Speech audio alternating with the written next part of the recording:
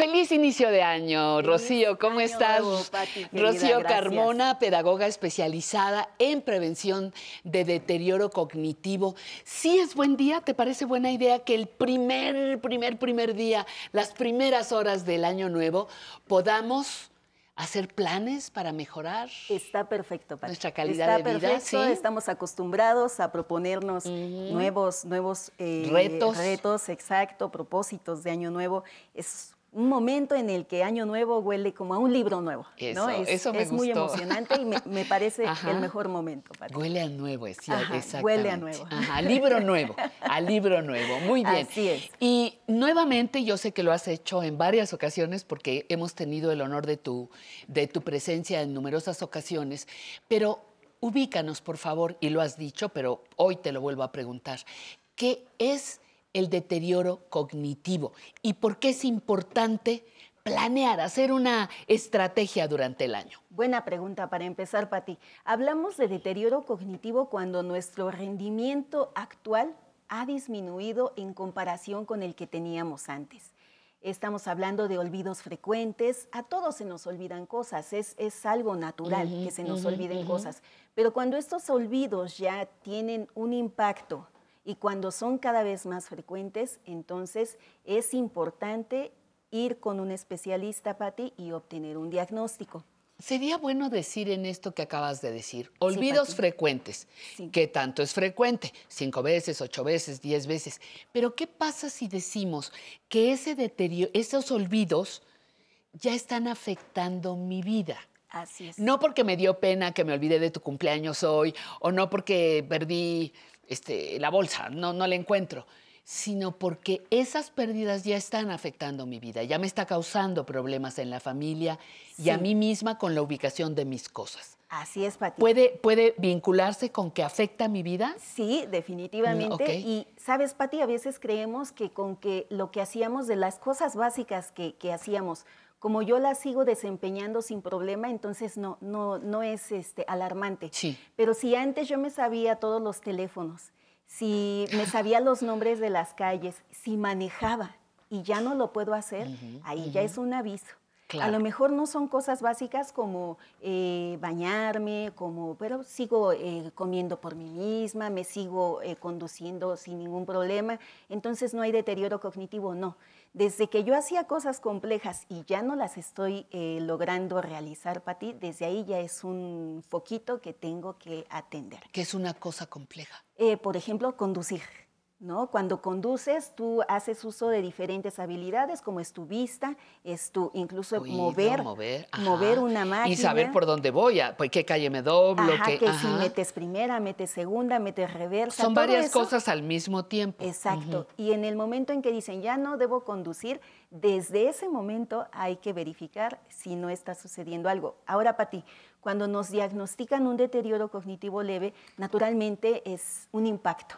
Pero no hay que quedarnos ahí. Hay muchas cosas que se pueden hacer para ralentizar este deterioro y que no avance, no progrese de manera tan acelerada como sería al no hacer algo al respecto. Entonces, diagnosticarnos sirve para poner manos a la obra, Pati. Eso es. Pero aquí la idea del programa, el día de hoy al menos, Sí. es prevenir Exacto. o hacerlo lo más... Yo siempre les digo, prolongar el bienestar el máximo de tiempo posible. Me gusta. ¿No? Prolongar el bienestar. Así es. Entonces, ¿cómo le hago? ¿Qué me sugieres para Sí. que yo vaya, eh, que le cueste más trabajo? Exacto. Lo, lo im- lo más importante es reducir los riesgos modificables, Pati. A ver, qué nos referimos ¿A con qué? eso? Ajá. Pues vamos a hacer cosas en un primer momento que agudicen nuestra percepción, que nos afilen, por ejemplo, nuestra vista, nuestro olfato, eh, incluso nuestro gusto, nuestro oído, Pati. Ponme un ejemplo, percepción. ponme un ejemplo. Por ejemplo, si yo juego la lotería, si practico algún pasatiempo, que son actividades muy sencillas, pero... ¿Jugar a la lotería, de billete o de frijolito? de frijolito. ah, bueno. Puede ser de billete, bueno, podría ser de billete, vamos a, a fomentar la, convivencia sana. Ah, Entonces, que sea de frijolito, ¿no? Cuando yo escucho el nombre de, la calaverita, eh, el, la muerte, cazador, la muerte, eh, la muerte Pati. Bueno, yo asocio ese, esa palabra a una imagen y rápidamente pongo su frijolito. Eso es agudizar tu percepción, Pati. Y si yo estoy bien, si no tengo eh, olvidos frecuentes, ese tipo de actividades entonces son benéficas. No son curativas, Pati, hay que decir eso. ¿eh? Los pasatiempos no son curativos porque he escuchado, a mí no me va a pasar porque hago sopas de letras. No, si nada más me la paso haciendo sopas de letras, no es suficiente. Y ahí vamos con otras puedo hacer sopa de letras, puedo hacer crucigramas, puedo hacer eh, serpientes y escaleras, todo este tipo de pasatiempos que por Dios en México tenemos. Juegos de mesa que le llaman, ¿no? Así es, así es, Pati. Un segundo escalón podría ser aprender, aprender cosas, Pati. ¿Qué te gusta? ¿Natación? Puede ¿Un idioma? Un idioma, tocar un instrumento. Un instrumento. No, Pati, eh, estamos en el mejor podría ser aprender a cantar. Cantar, Pati. Algo que nos desafíe un poco más que los pasatiempos podría ser un segundo momento. ¿Qué te gusta para marzo? Para que se acerca la primavera, empezar con un reto ahora ya. Afiné mi, mi percepción, mi atención, voy a dar un paso hacia aprender algo. Ajá. Y aprender implica algo novedoso, ¿no? Por supuesto, implica fuerza, algo diferente. Fisiológicamente pasan cosas en nuestro cerebro cuando aprendemos. ¿Qué nos pasa? Obligamos a nuestras neuronas a conectarse, y a hacer nuevas redes. Y eso anteriormente se creía que ya eh, eh, llegábamos a una edad en la que ya no era posible. Pero cada vez más se ha encontrado que aprender en edades avanzadas es benéfico y promueve justamente esta formación de nuevas redes. Muy bien, entonces eh, los pasatiempos, luego los aprendizajes, luego... Muy bien, algo bien importante y que también nos ayuda a minimizar riesgos, en este caso específico de la depresión, Pati, convivir, interactuar. Socializar. Exacto. Y es que esto nos exige Además, el hecho de aprender a escuchar otras cosas con las que a lo mejor yo no estoy familiarizado. Y Por tengo ejemplo, que, a ver. A lo mejor yo soy partidaria de hacer las cosas de determinada manera. Y mi compañera del curso de canto no lo hace así. No puedo pensar que ella está mal. Es una manera distinta de hacer las cosas. Y a lo mejor yo puedo aprender algo de ella y ella puede aprender algo de mí. Qué, qué difícil momento, porque entre, entre la soberbia, el creer que tienes la razón, entre que yo ya no puedo aprender, en que ya para qué. Eh, híjole, puede ser unos boicots tremendos. Y además es muy padre para ti enojarte y contentarte. Porque yo, yo tú sola, tú sola contigo. no, lo que no queremos decir es que no, no eh, eh, eviten el conflicto. No, sí, sí van a salir conflictos, pero que solucionen algo Exacto. O que me, me dé a mí la oportunidad de aprender algo nuevo de personas que viven la vida de manera diferente. Y, Convivir es bueno. Y dices, y dices socializar, porque, por ejemplo, me pongo ahora que, veo al público que nos acompaña, eh, como ahorita que los vi bailar, qué bárbaro, cada quien bailaba distinto, este, pero todos una constante, estaban disfrutando, aunque cada quien hiciera un baile diferente. Sí. Igual es con esto de la convivencia. No tengo que bailar, no es ballet, ¿verdad? Así Para que todos bailemos igual. La misma coreografía. exacto. Así es. Y Patti, ¿qué, ¿qué, mayor riqueza que las diferencias, ¿no? Por ejemplo. Claro, en este claro. caso. Pero eso tienes que aprenderlo y aceptarlos, ¿no? las diferencias. Y, te vas a liberar de muchas cosas, ¿no? Al aprender de, de otras personas, modos diferentes de ver la vida sin necesidad de juzgar quién está bien y quién está mal. Otro punto, Pati, dos puntos más son nuestros hábitos y mantener nuestra salud física. nuestros hábitos. Vamos con los hábitos. los hábitos. Mira, es bueno hacer una cosa a la vez. Una cosa a la vez. en la que estás, termínala, disfrútela, vive, el presente, aprende de ella y después lo que sigue. ¿Por qué? La atención es la puerta de entrada de la memoria. Entonces, si tú estás cocinando y en ese momento entra la llamada... Y tienes el radio prendido. Y, un recado, ajá, Pati, algo se va a ir. Algo se va a ir. O se me va el recado que me dieron por teléfono o se me va a pagarle a, la sopa. Entonces, lo ideal es hacer una cosa a la vez y hacer de esto un hábito. Hay un mito lo pongo entre comillas, que dice que las mujeres éramos multitrack. Ajá, ¿Se acuerdan que decía multitask? Sí, y multitrack también. Ese es un buen concepto que vamos a eh, empezar. podríamos este estar oyendo el radio, oyendo el teléfono y, oyendo que no se te vaya a quemar acá. Bueno, este, ese no sé si es una realidad o es una mentira, pero sí hacíamos muchas cosas al mismo tiempo.